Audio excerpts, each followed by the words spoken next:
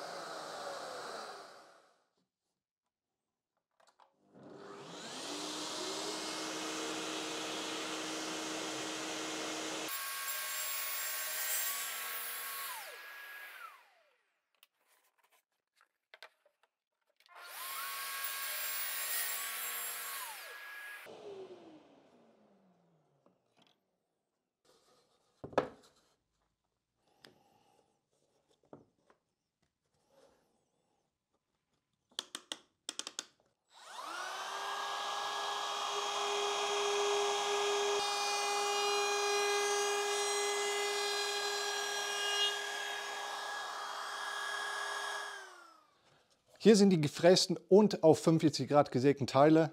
Ähm, leider hat das ja mit dem Profilfräsern nicht funktioniert. Finde ich echt schade. Aber nicht schlimm. Die kleinen Teile hier, das sind die Seitenteile, links und rechts. Und die längeren Teile sind oben und unten. Und ich habe hier schon ein Loch drin, falls ihr euch wundert, das war eben nicht drin richtig. Das habe ich jetzt auf die Schnelle reingepackt. Das ist für die passiven Radiatoren, die werden dann von innen verklebt. Werdet ihr aber alles noch sehen.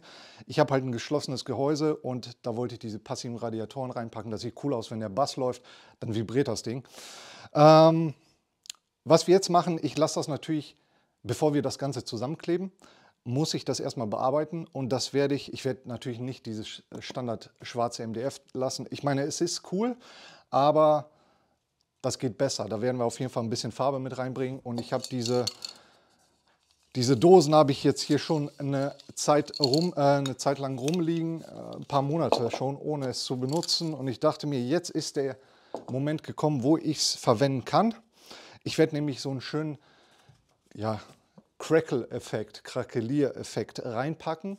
Und zwar wollte ich ein bisschen Rot mit reinpacken. Das habe ich hier. Das ist Rot-Orange.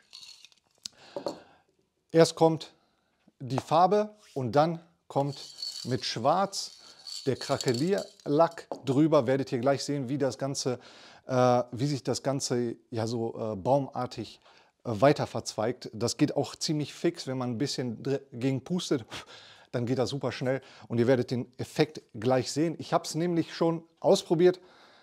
Natürlich habe ich mir gedacht, ich probiere das erstmal aus, bevor ich euch das zeige und äh, dann kann ich euch erklären, wie das Ganze funktioniert. Und ich habe das schon richtig gemacht. Ihr seht hier, es ist noch ein bisschen nass. Es sieht aber nicht so geil aus. Warum? Weil ich einen Fehler gemacht habe. Es hat alles gut funktioniert. Ich habe erst rot drüber gepackt, dann den Krakelier-Effekt drüber. Und was habe ich dann gemacht? Da habe ich mir gedacht, okay, innen drin der Ring ist noch nicht so super, also gehe ich nochmal mit dem schwarzen Krakelier-Lack drüber. Das war der Fehler, deswegen sieht das Ganze so bescheuert aus. Also muss ich das gleich noch abschleifen und das Ganze nochmal machen. Aber mit euch mache ich das richtig. Das Ganze muss natürlich staubfrei sein, das habe ich eben schon gemacht, aber ich gehe nochmal mit dem Lappen drüber. Ich habe es mit einem ganz feinen Schleifpapier, ich glaube 400er Körning, bin ich mit der Hand einfach mal so rübergegangen, um das schön glatt zu kriegen. Und dann kann man den ganzen Rest, der hier noch drauf ist, kann man noch mit dem Lappen wegwischen. Und dann sollte das gut sein.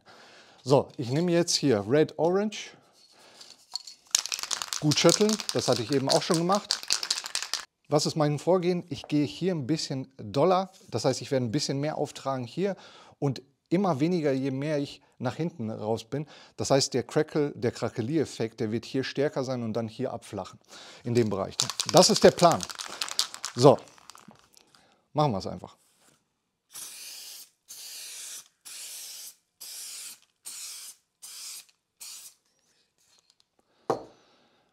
Wie ihr seht, es ist jetzt nass. Also brauchen wir auch nicht zu lange warten. Wir brauchen nicht warten, bis das komplett getrocknet ist, sondern wir gehen jetzt hier mit dem Crackle-Effekt, gehen wir einfach mal rüber.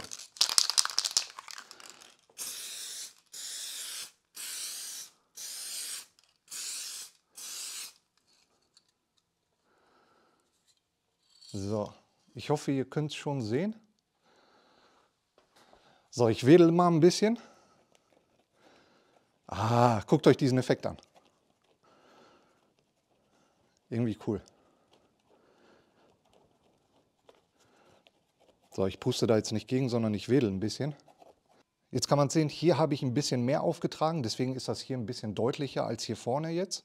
Finde ich aber nicht schlimm. Und hier sieht man auch noch ein bisschen, ich weiß nicht, ob man das auf der Kamera sehen kann, aber hiermit bin ich jetzt einverstanden. Und das werde ich jetzt auch nicht mehr anrühren, weil später kommt noch so ein Varnish rüber, der das, die ganze Oberfläche hier schützt. Das machen wir aber erst, wenn alles schön getrocknet ist. So, der nächste Schritt ist die Gärungsverleimung.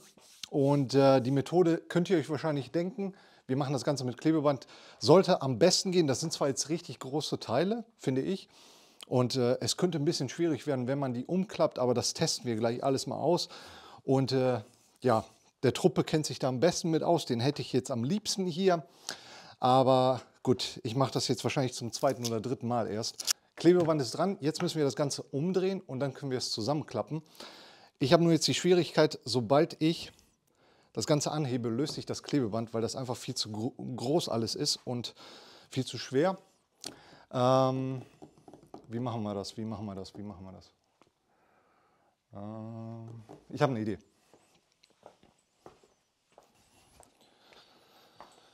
Ich nehme jetzt einfach so eine Schiene zu Hilfe. Die packe ich jetzt da drunter. Das ist auch ein Gedödel hier. So, das löst sich schon. Ah, shit. Das hätte ich sofort machen sollen. Hm. Wäre besser gewesen. So, geht da drunter. So. Gut. So, jetzt haben wir das zumindest. Ähm, jetzt können wir versuchen, das an der Schiene hochzuheben, ohne dass irgendwas kaputt geht. Okay, das sieht gut aus. Okay. Jetzt muss ich das irgendwie nach vorne schieben. Jetzt bräuchte ich eine zweite Schiene. Das kann doch nicht wahr sein. So, das sieht echt aus wie Raketenwissenschaft hier bei mir. Äh, falls ihr keine Schiene oder keine zwei Schienen haben solltet, dann, ihr könnt auch zwei Bretter nehmen, geht auch. So, jetzt kann man das gut schieben. Hoch. So, noch weiter schieben. So, und runter. Zack. Erste Schiene weg. So, zweite Schiene komm. Weg. Wie sieht das aus? Ja, minimal, nur irgendwas ein bisschen verschoben, aber das sollte kein Problem sein. So geht's. Wenn ihr keine Schienen haben solltet, einfach Bretter nehmen, vorne und hinten, dann könnt ihr das Ganze gleichmäßig verschieben. Ihr habt es gesehen, ohne die zweite Schiene hat sich das Ganze wieder verbogen. So, das war der erste Trick 17. So, gucken, was mich noch erwartet. Das wird gleich noch lustig. Also, Holzkleber, Holzleim und äh, nicht zu viel, weil wenn ihr das zusammenpackt, dann drückt sich der Kleber nach oben und ihr habt einfach viel zu viel Leimausschuss, äh, Leimüberschuss und das wollen wir nicht. Also ein bisschen Leim, nicht zu viel.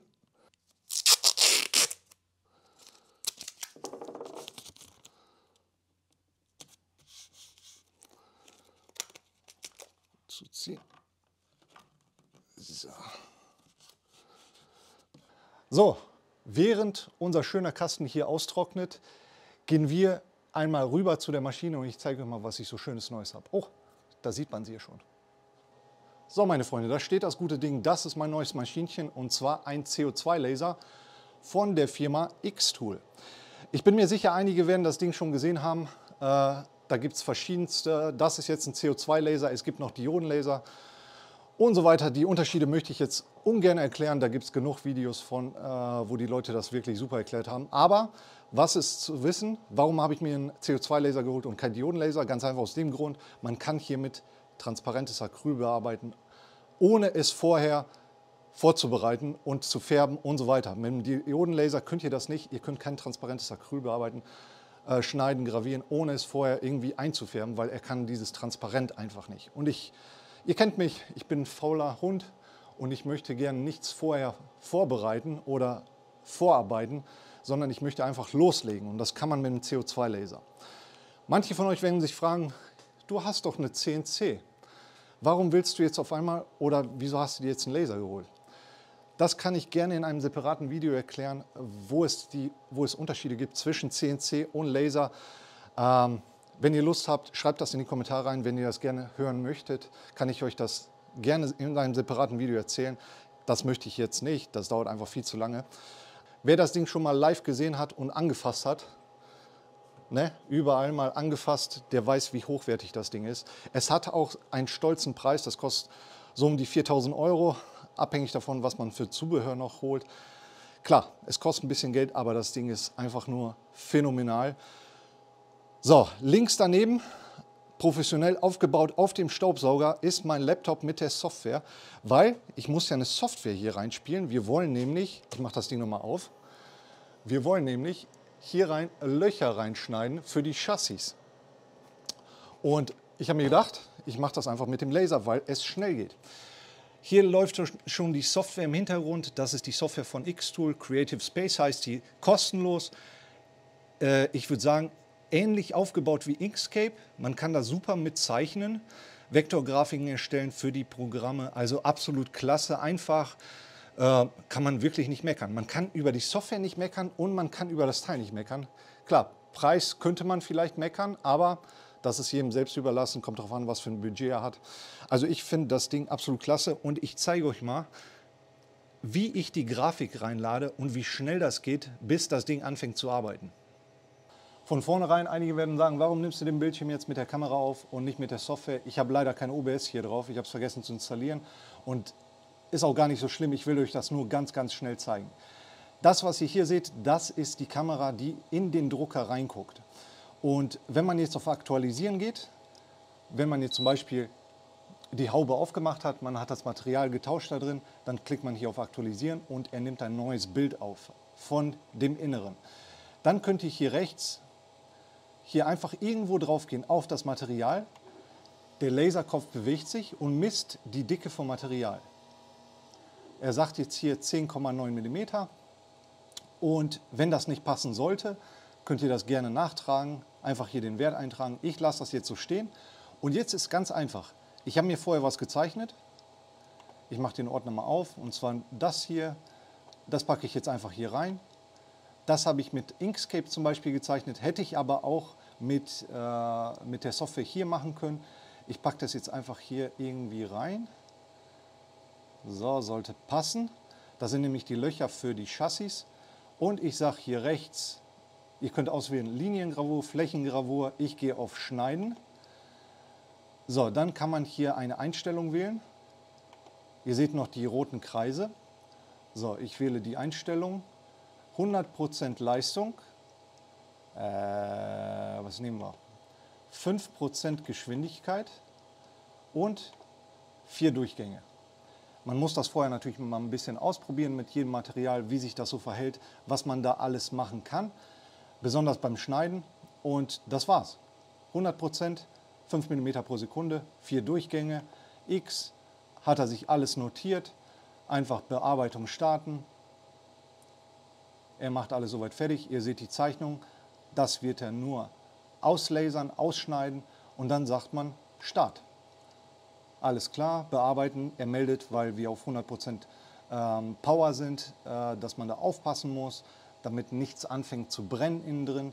Und dann sagt man einfach nur, alles klar, bearbeiten. Und jetzt ist man bereit. Man muss jetzt einfach nur den Knopf auf dem Laser drücken.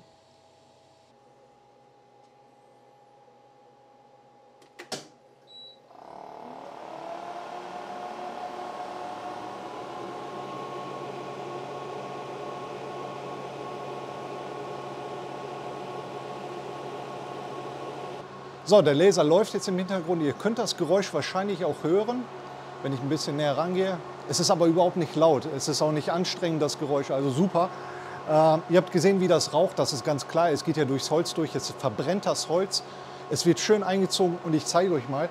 Und ganz, ganz wichtig, immer wenn ihr Holz bearbeitet mit dem Laser, immer dabei sein, gucken, nicht, dass irgendwas anfängt zu brennen. Aber ich zeige euch mal, was ich mir gebastelt habe, damit der Rauch rausgeht. Das solltet ihr auf jeden Fall bedenken und nicht in einem geschlossenen kleinen Raum das Ganze betreiben, weil der Rauch, der muss ja irgendwie raus.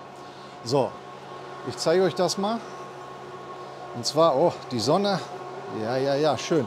So, jetzt muss ich erstmal mit dem Gimbal klarkommen. So, hier ist ja das Rohr. Das heißt, der Rauch wird abgesaugt, durch die Ventilatoren, geht durch das Rohr und ich habe das hier verlängert, einfach so ein Pappkasten drum und es geht nach draußen. Ihr könnt jetzt natürlich, äh, ich versuche mal die ISO ein bisschen runterzudrehen. So, weit runter, weit runter, weit runter. So, ungefähr. Und der Rauch geht raus. Ganz, ganz wichtig, Leute. Bedenkt das nicht im geschlossenen Raum betreiben. Wie ihr seht, hat das ja ganz gut geklappt mit dem Laser.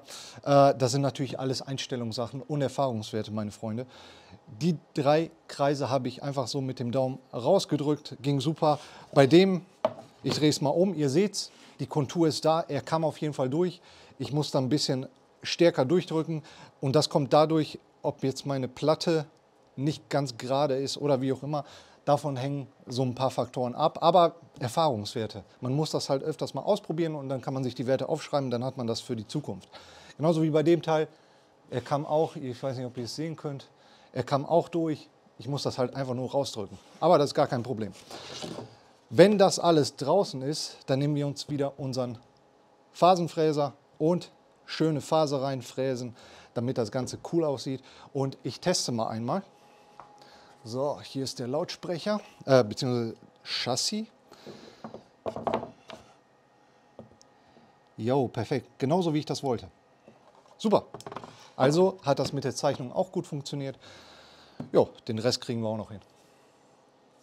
So, das hier ist jetzt der aktuelle Stand. Wie ihr seht, das ist alles schön ausgehärtet. Der Kleber ist ausgehärtet. Und äh, so, das hier ist jetzt der aktuelle Stand. Wie ihr seht, alles ist schön fest. Kleber ist gut ausgehärtet. Sogar die Ecken sehen echt gut aus, muss ich sagen. Für meine, weiß ich nicht, zweite oder dritte Gärungsverleimung. Nicht schlecht. Wie ihr seht, habe ich hier noch solche Streben hingeklebt. Und zwar ist das als eine Art Begrenzung für äh, die Platte vorne und für die Rückwand. Hier habe ich das Ganze ein bisschen dicker gemacht, weil die Rückwand, hier kommt die Rückwand später hin, die werden wir dann verschrauben. Vorne, den vorderen Teil, da wo auch die Chassis verbaut werden, da seht ihr hier, hier sind auch die Streben, die sind aber ein bisschen schmaler.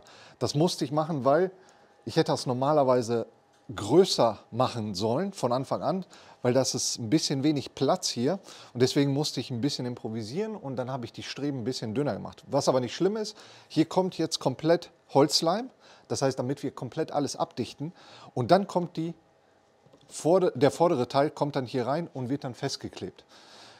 Das ist der Schritt, den wir jetzt machen. Also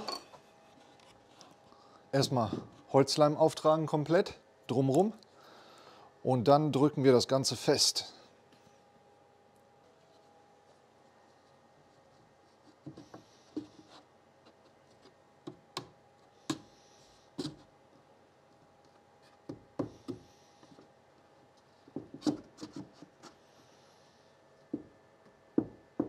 Und da sind wir wieder im Freihandmodus. Eigentlich ganz cool. So, das lassen wir jetzt schön trocknen, muss gut aushärten. Aufgrund Vibration und so weiter wollen wir nicht, dass die Frontplatte abfällt. Also werde ich noch von hinten noch mal ein bisschen Holzleim auftragen, nur um auf Nummer sicher zu gehen. So, und jetzt gehen wir zu, wieder zu dem neuen Schätzchen rüber. So, wir haben eben Holz bearbeitet. Jetzt ist was anderes dran und zwar schwarz transparentes Acryl 6 mm. Ich werde das Ganze gravieren und schneiden. Ich habe jetzt leider keine kleine Kamera, die ich da reinpacken kann in den Laser, um euch das zu zeigen. Ihr kennt das von diesen ganzen Videos und so. Habe ich nicht, ist auch nicht schlimm. Ich werde das jetzt einfach reinpacken, äh, gravieren, schneiden und dann zeige ich euch das Endergebnis. Und ich bin genauso gespannt wie ihr. Und jo, dann schauen wir mal weiter. Wir sind jetzt endlich soweit, meine Freunde, damit wir die Chassis einbauen können. Das hier ist fest, ist getrocknet und falls ihr euch fragt, was das für ein komisches Geräusch im Hintergrund ist, das ist der Laser. Er ist nicht laut, aber vielleicht ein bisschen irritierend wäre nicht, dass vier Filme. Ich hoffe, ihr verzeiht mir. Äh, genau, wie verbauen wir die Chassis? Ich habe hier einmal den Subwoofer und der hat ja hier schon so ein Dichtband drum. Deswegen brauchen wir kein extra Dichtband. Der kommt jetzt hier rein und den befestigen wir ihn gleich. Wie wir den befestigen, das mache ich hier mit allen Chassis auf die gleiche Weise. So eine Holzschraube und dann eine M4-Mutter ist das jetzt hier. Die kommt da drüber und dann wird das Ganze verbaut und festgeschraubt.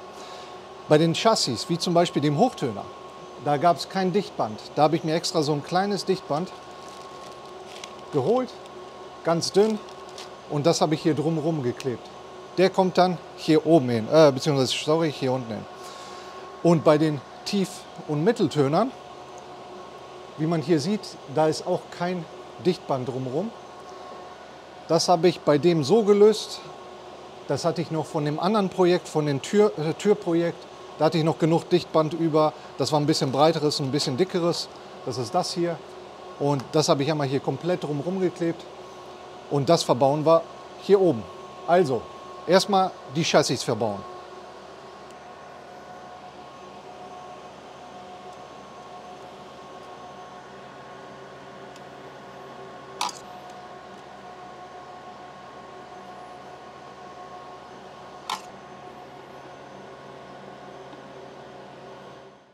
So, der Laser ist endlich fertig. Das hat jetzt ungefähr eine Stunde gedauert. Mal gucken, was er fabriziert hat. Okay. Ah, das ist nur Staub. Okay, das muss ich gleich sauber machen. Gut, kann ich gleich machen. Das hier sollte normalerweise so eine Flächengravur sein. Seht ihr auch, hat gut funktioniert.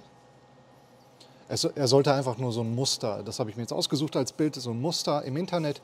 Und das sollte er gravieren. Das hat er sehr gut hingekriegt. Das sieht echt klasse aus. Und hier drin ist ein Schnitt. Und außerhalb ist ein Schnitt. Mal gucken, ob er das geschafft hat, weil ich habe eine Folie drunter. Ja, da hat er es hingekriegt. Jo. Das hier soll jetzt das Außenmaß sein. Ah, okay, stellenweise hat das nicht komplett durchgeschafft. Gut, das klären wir gleich. Das machen wir gleich. Und hier in der Mitte sollte er auch schneiden. Ah, er sollte mir einen Ausschnitt machen, damit man die Chassis sehen kann. Aber das sieht gut aus. Jo, guckt euch das an. Absolut klasse. Die Öffnung, die ihr hier seht, das ist jetzt kein Griff zum Festhalten, wäre cool, aber dafür ist es nicht gedacht. Hier kommt eine Platte unten drunter, die wird hier festgeklebt. Und dann kommen die Drehregler vom Verstärker da drauf. Das hier ist einmal der Verstärker. Wundert euch nicht, warum hier so lange Kabel äh, dranhängen. Die habe ich selber verlängert, weil hier sind normalerweise diese Potis drin. Die sind fest verlötet. Ich habe sie rausgelötet und einfach verlängert, damit ich mehr Spielraum habe. Äh, und diese Drehregler kommen in diese Platte rein.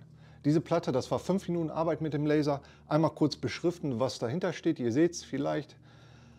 Volume, Bass Volume, Bass Frequenz, Channel Bass und Channel Treble. Die Platte wird unten drunter verklebt mit Sekundenkleber, schön abgedichtet. Und dann kommen die Teile durch die Löcher und dann kann man das Ganze von oben bedienen. Also, eine super einfache Geschichte, also fünf Minuten oder keine fünf Minuten, ich weiß es nicht. Auf jeden Fall, das ist der Kleber. Den habe ich mir extra dafür geholt. Sekundenkleber, dauerelastisch. Äh, das sollte dann ziemlich fix gehen. Und mit dem Kleber werden wir auch gleich, wo sind die Teile? Das sind jetzt einmal die passiven Radiatoren. Ich nehme einen raus. So. Hier wird der Kleber, hier drumherum wird der Kleber aufgetragen und dann kommt das in die seitliche Öffnung. Die seht ihr hier unten. Von innen wird das dann verklebt. Ebenso mit diesem Sekundenkleber.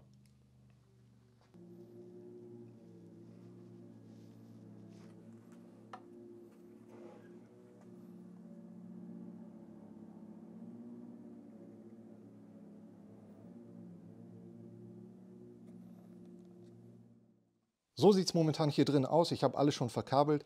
Die Drehschalter sind auch schon an dem Acryl dran, alles befestigt.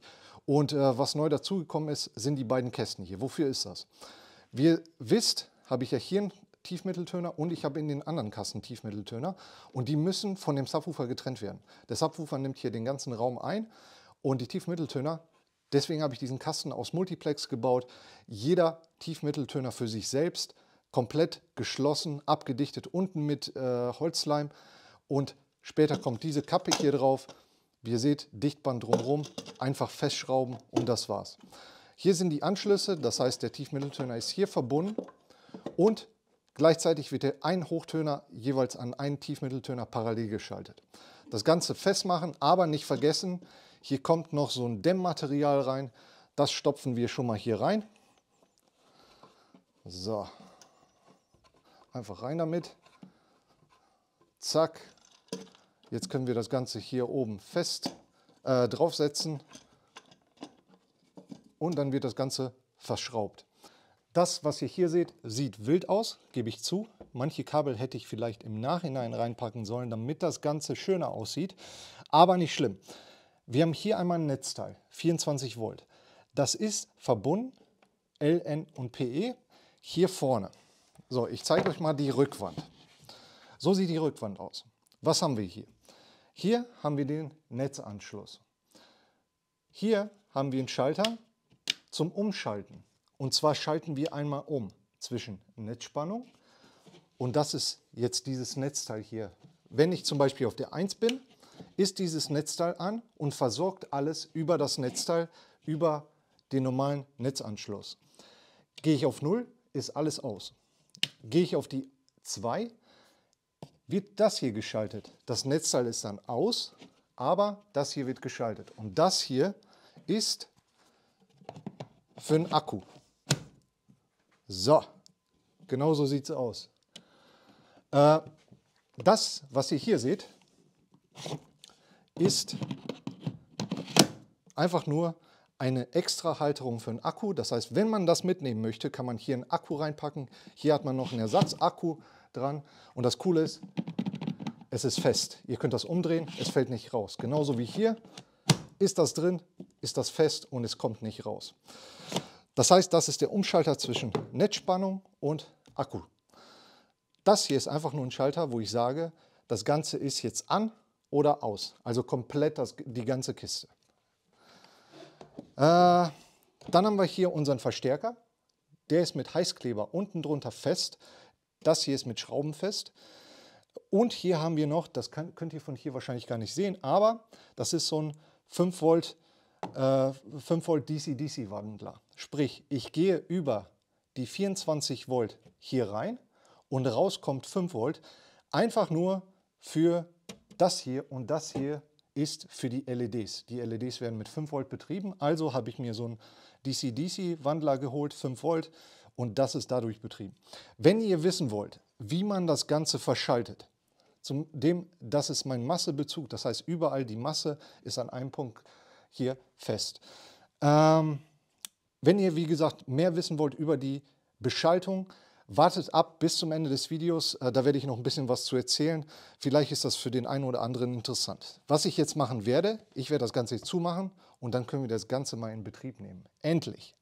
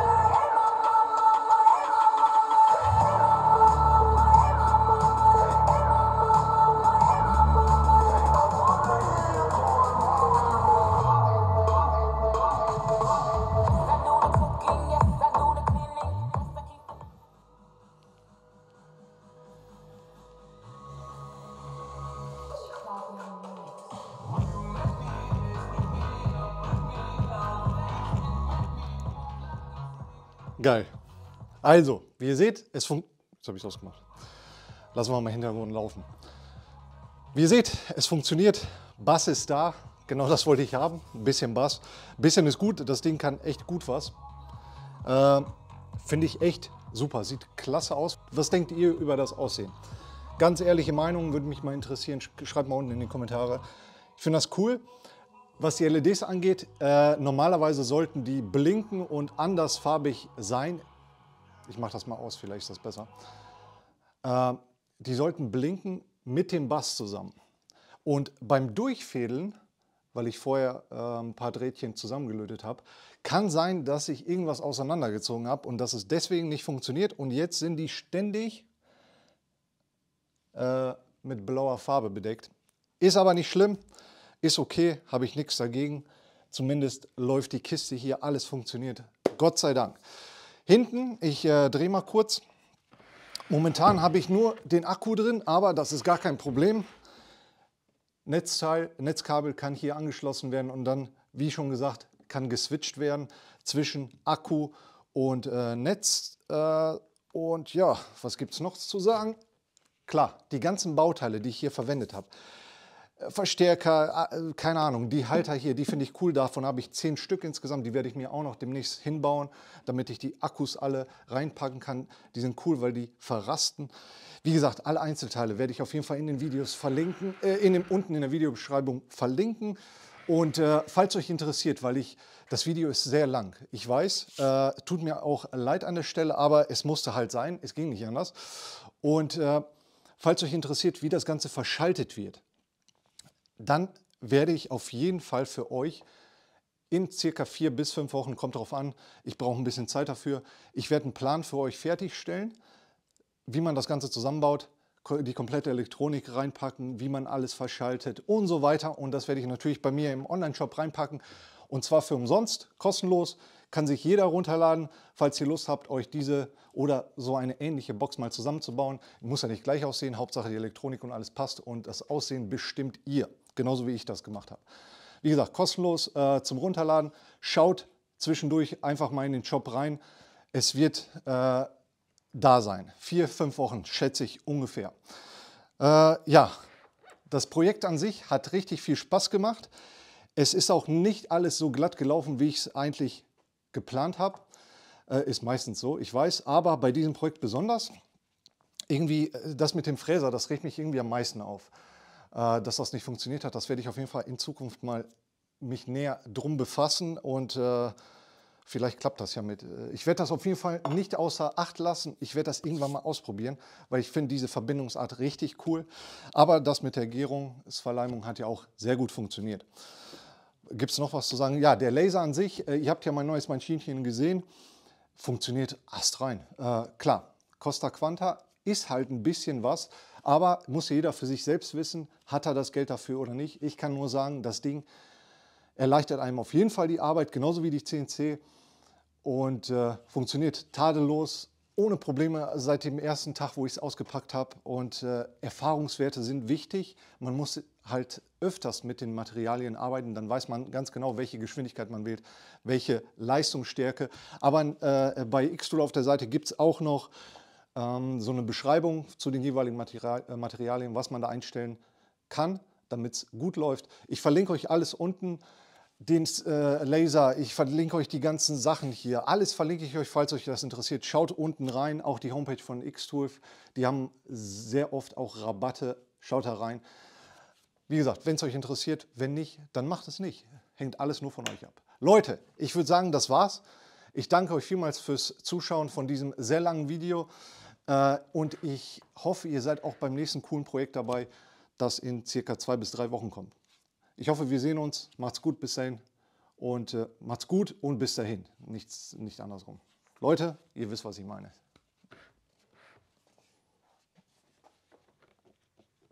Ein Griff wäre auch nicht schlecht gewesen, ne? Naja, geht auch so.